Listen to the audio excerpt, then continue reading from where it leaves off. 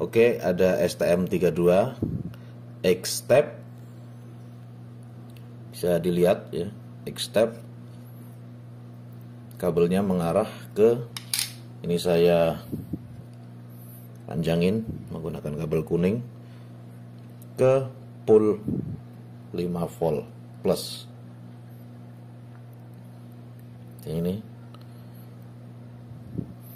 Selanjutnya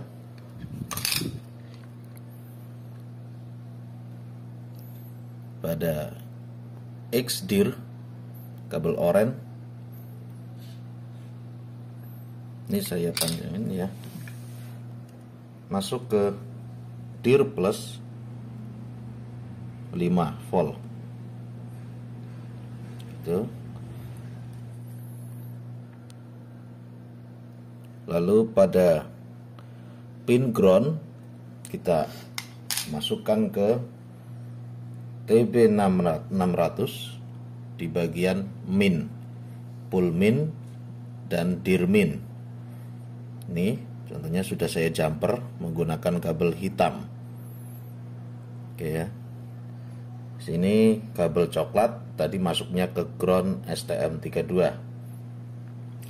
Selebihnya untuk dataset motor tinggal teman-teman sesuaikan di sini saya ada kabel hitam,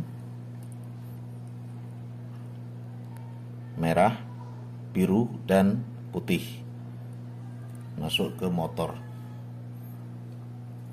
Selanjutnya untuk powernya ground dan VCC masuk ke power supply saya menggunakan 24 volt. Baik, jika sudah sedemikian wiring ini bisa teman-teman ikuti di skema berikut ini.